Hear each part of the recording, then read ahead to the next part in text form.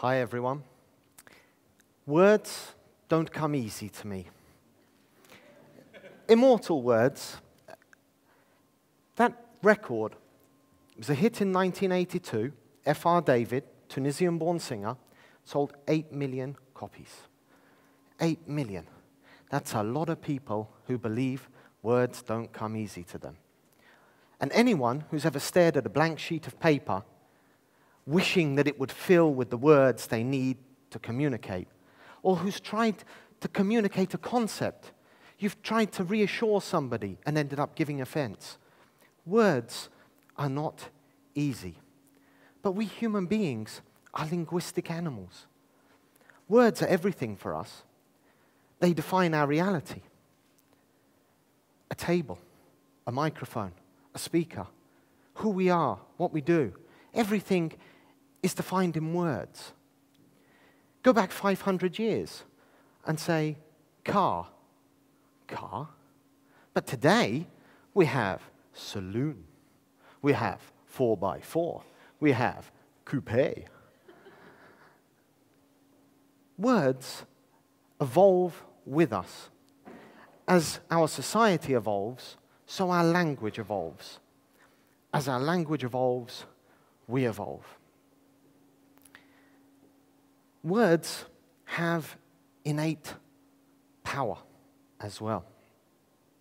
Now, people,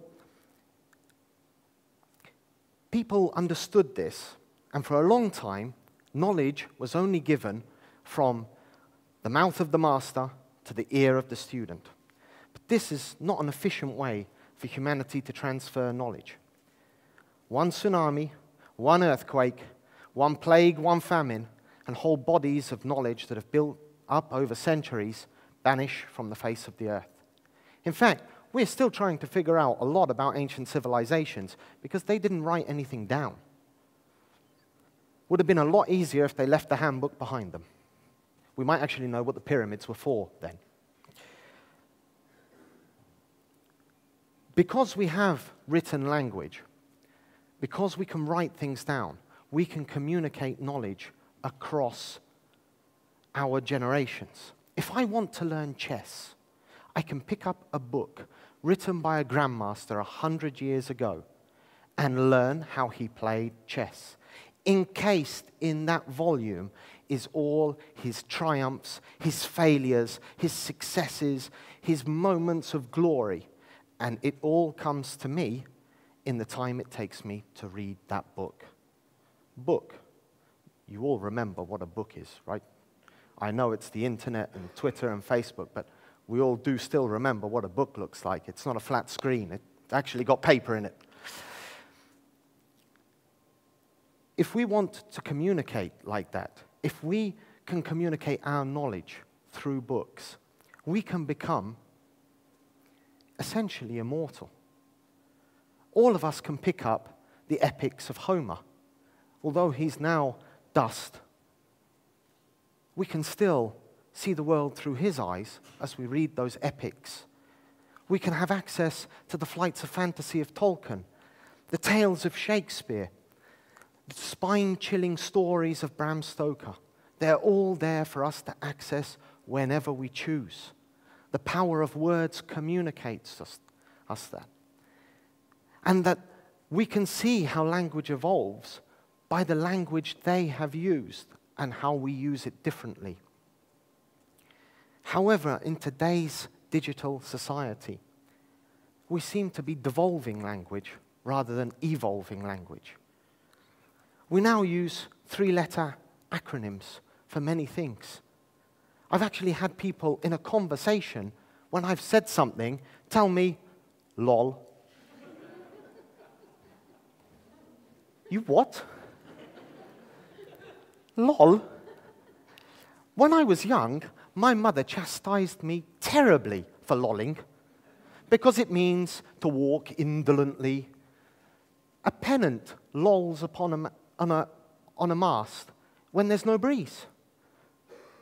When I laugh out loud, when I communicate that I'm laughing out loud, there is this raucous, effervescent laughter that bubbles up through me and comes out and has the other person. It pulls them into my mirth and has them enjoy it with me.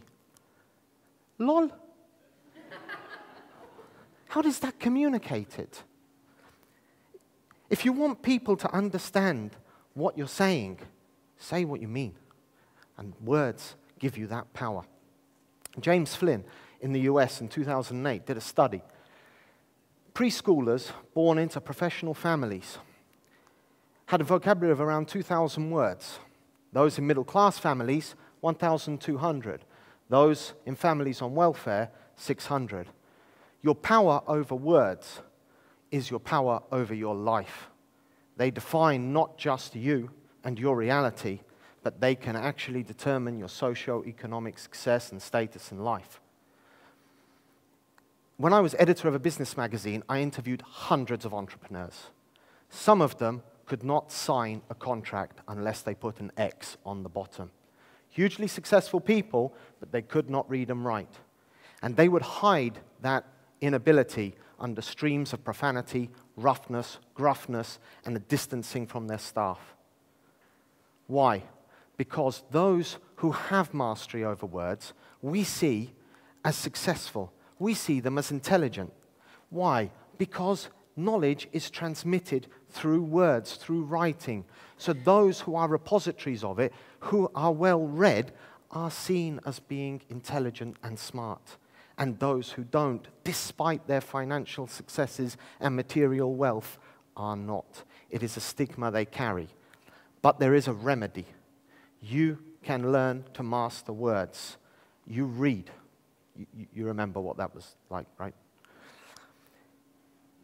When I was four, I was a freak. I was an absolute freak of nature. I used to read the newspaper before I went to kindergarten. My parents despaired growing up on a council estate as somebody who reads the newspaper before they go to school is not easy, especially when I was, and believe it or not, I was actually shorter than I am now.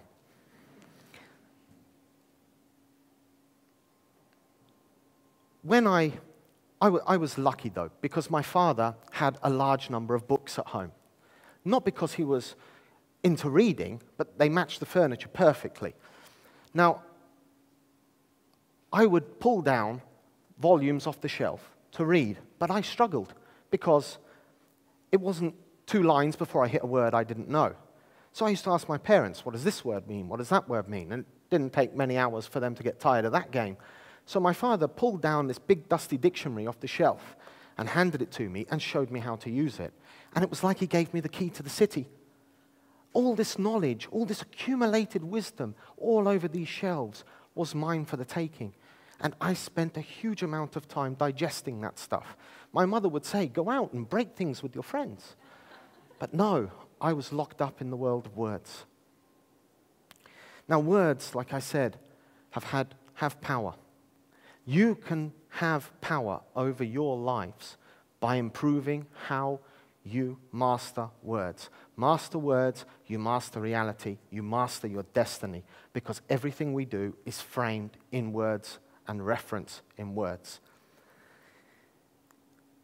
When I was in the insurance world, my job was to be the guy who found that one sentence in your extremely thick insurance policy that said, I'm sorry, sir, we can't pay your claim. I was not a popular person. Well, I, I, was with the bosses because I was particularly good at doing that. But it wasn't what I wanted to do. And one day, I'd clawed my way all the way up to senior management in the corporate world. And one day, my wife said to me, There's a little pink line on this pregnancy test. We're going to become parents. Wow. That was a hell of a day. Because I had to change my life. How could I follow? How could I look my daughter in the eye and tell her, Follow your dream, when I hadn't done it myself? because my dream was to be a writer. That's when I'd spent so much time locked in words.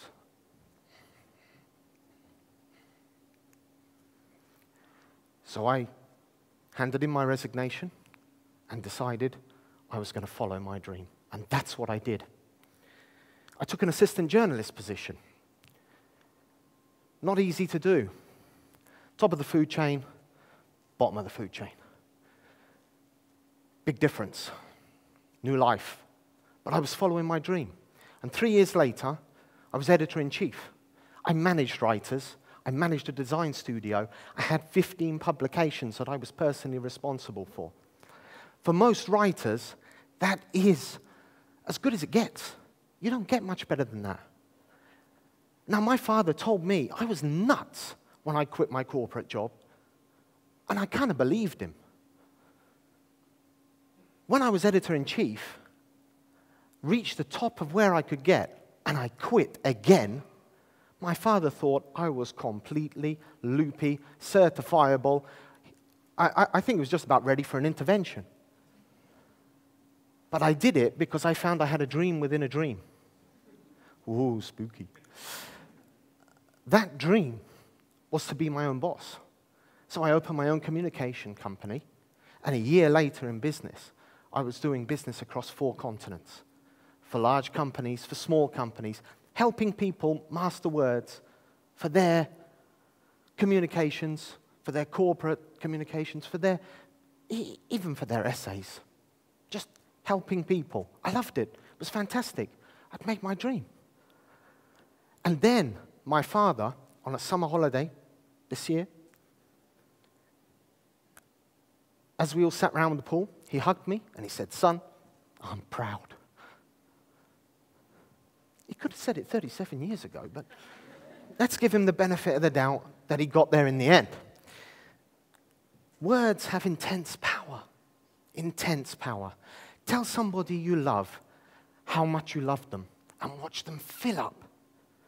Tell somebody you no longer love them and watch them twist in pain.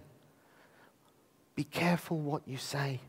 Words have huge power. Words are very, very powerful thing. If you tell yourself you're going to be successful and you say it every single day, you will believe it. You will do it. You will achieve because you will overcome. You've got to stop that little voice in your head that says you cannot. Impossible is nothing. You can do whatever you need to do. You just need to master the voices and to hear the right words. If you can do that, you can do anything. Now, what I'd like you to do, just for a second, to help you along this journey, because it is a journey. Now, the Oxford English Dictionary makes a guesstimate, a, a, guesstimate, because they have no idea really how many words are in the English language. There's far too many. They make a guesstimate that there is about a quarter of a million unique words.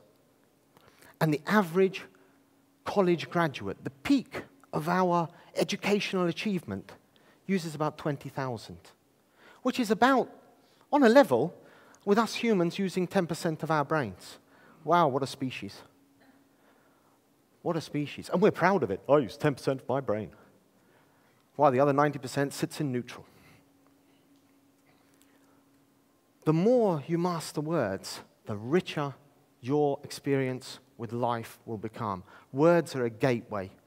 They're there to allow you. You've sat here today to listen to people speak and talk and communicate to you to fire off new ideas into your brains that you take home with you. That's what it's all about. And the more words you know, the more power you have over words, the easier that will become. The easier you will communicate those ideas to others, the quicker they will become reality. Now, I just want you, if you, you think this is something hard, I just want you to close your eyes for a second. Just a second. Just close your eyes. Dark, isn't it? Imagine the word impossible. See it there, big and bold. You cannot do. It is impossible. You cannot. You will not. It is impossible.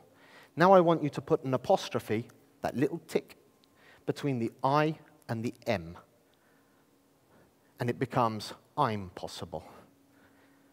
And if one little apostrophe can change things from impossible to I'm possible. Imagine what 250,000 words can do. And that's not even counting the question marks. Words are a journey. Learning them and mastering them is a journey. Life is a journey. The more you master words, the more your life will be easier. I hope today you will go out there and take that first step because it's not impossible, you are possible. Thank you.